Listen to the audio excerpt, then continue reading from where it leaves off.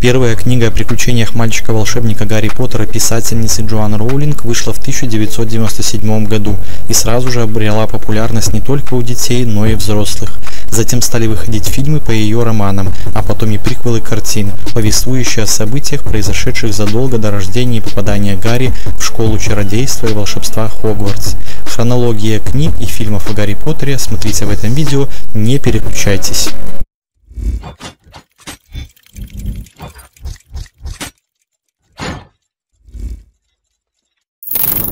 Серия фильмов «Фантастические твари, где они обитают» — это приквел к основной саге о Гарри Поттере, в которой события разворачиваются за 65 лет до рождения мальчика на свет.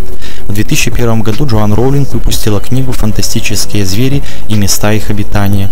Они написаны от имени вымышленного известного магического зоолога Ньюта Саламандера, которое по сути можно считать псевдонимом Роулинг.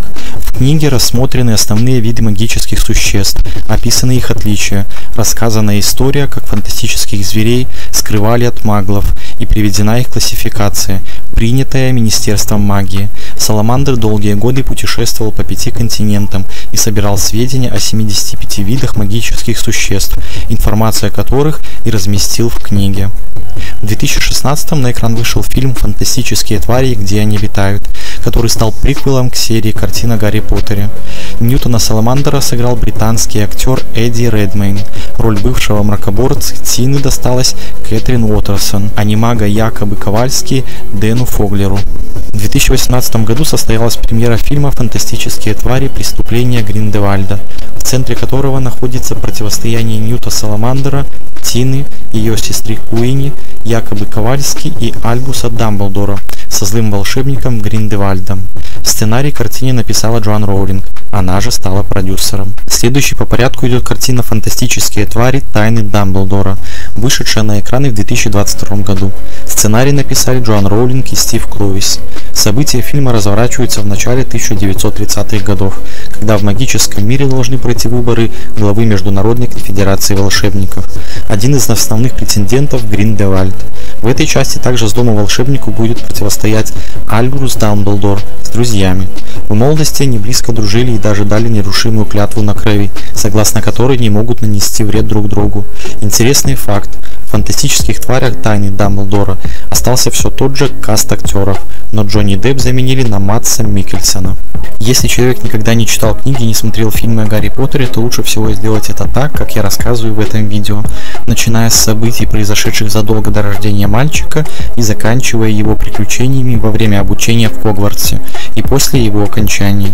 Первый фильм это «Гарри Поттер и философский камень». Первая часть истории жизни юного волшебника Гарри Поттера вышла в 1997 году под названием «Гарри Поттер и философский камень». В ней повествуется о том, как 11-летний мальчик узнает, что он волшебник, попадает в школу магии Хогвартс и обретает друзей в лице Рона Уизли и Гермионы Грейнджер. Вместе они находят философский камень, тем самым предотвращая попытку Волан-де-Морта, убившего родителей Гарри, вернуться к жизни. В 2001 году вышел фильм «Гарри Поттер и философский камень», в котором были задействованы Даниэл Редклифф, он же Гарри, Руперт Грин, Рон, Эмма Уотсон, Гермиона, Том Фелтон, Драко Малфой, Ричард Харрис, он же Дамблдор, Мэгги Смит, профессор МакГонагал, Робби Колтрейн, он же Хагрид, Йен Харт, Квиррелл, Алан Рикман, Северус Снейп и другие. Следующим в хронологии книг и фильмов о Гарри Поттере оказался роман Джоан Роулинг под названием «Гарри Поттер и тайная комната». История, вышедшая в 1998 рассказывает о втором годе обучения мальчика в Хогвартсе. Эльф Добби появляется в доме Дурслей, тети и дяди Гарри, и просит его в этом году отказаться от поездки в школу, так как мальчику грозит опасность. Но Поттер его не послушал и попал в очередную неприятность. В школе начались нападения на маглорожденных учеников. Они застывали на месте. На лицее был написан ужас. Подозрения пали на Гарри, так как он владеет змеиным языком и практически всегда первым оказывался на месте нападения. Теперь парню необходимо доказать свою невиновность и снова сразиться со злом. Одноименный фильм вышел в 2002 году. В нем были задействованы прежние актеры, но добавились и новые персонажи. Например, Джинни Уизли, Колин Криви, том Редли и Златопуст Локонс. В третьей части книги «Гарри Поттер и узник Аскабана», вышедшей в 1999 году, Гарри переходит на третий курс обучения в Хогвартсе. Вместе с Роном и Гермионой ему предстоит узнать, как он связан со сбежавшим из Аскабана волшебником Сириусом Блэком, которого подозревают в пособничестве Волан-де-Морту. Фильм «Гарри Поттер и узник Аскабана» вышел в 2004 году. На этот раз роль Альбуса Дамблдора исполнил Майкл Гэмбон, заменив скончавшегося Ричарда Гарриса. Также появились новые герои – профессор Римус Люпин, Сириус Блэк и Питер Петтигрю. Гарри Поттер и Кубок Огня. На четвертый год обучения Гарри Поттер против своей воли оказывается одним из участников турнира трех волшебников. Из Кубка Огня его имя выскакивает четвертым, хотя сам Гарри его туда не помещал. Теперь ему предстоит не только сразиться на турнире, но и разгадать загадку, кто подстроил его участие. Эти события описываются в книге и фильме «Гарри Поттер и Кубок Огня», вышедших в 2000 и 2005 годах соответственно. Среди новых персонажей Седрик Дигори, Виктор Крам, Флэр Даракур, Аластор Грюм и возродившийся Волан-де-Морт. В пятой части Гарри Поттера и Орден Феникса, вышедшей в 2003 году, Гарри едва не исключается из Хогвартса за то, что на летних каникулах он воспользовался магией и спас своего кузена Дадли от Дементора. Вскоре он попадает в дом своего крестного Сириуса Блэка и узнает, что его близкие друзья основали Орден Феникса, чтобы противостоять Волан-де-Морту. Но и в самой школе грядут перемены, ведь Дамблдора могут отстранить от должности директора. Премьера одноименного фильма состоялась в 2007 году. В списке новых персонажей появились Полумна Лавгуд, Долорес Эмбридж, Беллатриса Лестрейндж и Нимфодора Тонкс. В шестой части «Гарри Поттер и принц Полукровка», вышедшей в 2005 году, от возвращения Волан-де-Морта и его пожирателей смерти страдают не только волшебники, но и маглы. Гарри узнает, что Волан-де-Морт создал несколько стрижалей, найдя которые он сможет вернуть свои силы.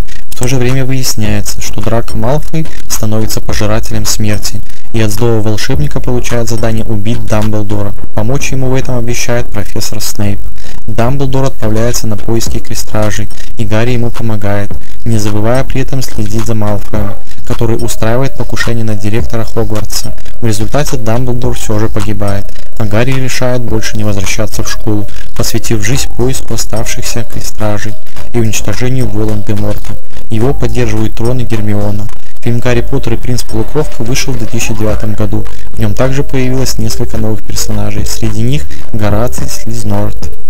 Заключительной седьмой частью в хронологии книг и фильмов о Гарри Поттере является роман «Гарри Поттер и дары смерти», вышедший в 2007 году. Стоит отметить, что экранизацию творения Роллинг было решено разделить на две части, премьеры которых состоялись в 2010 и 2011 годах соответственно.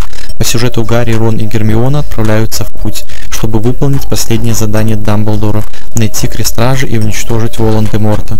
А в мире магии в это время началась война между волшебниками и сторонниками Темного Лорда, пожирателями смерти, которые захватили Хогвартс. Дорогие друзья, для канала важна ваша поддержка. Подготовка и выпуск подобных роликов отнимает много сил и времени. Если вам понравилось это видео, ставьте лайки, пишите комментарии, подписывайтесь на канал. Также можете подписаться на мой второй канал, ссылка в описании. С вами не прощаюсь и до встречи.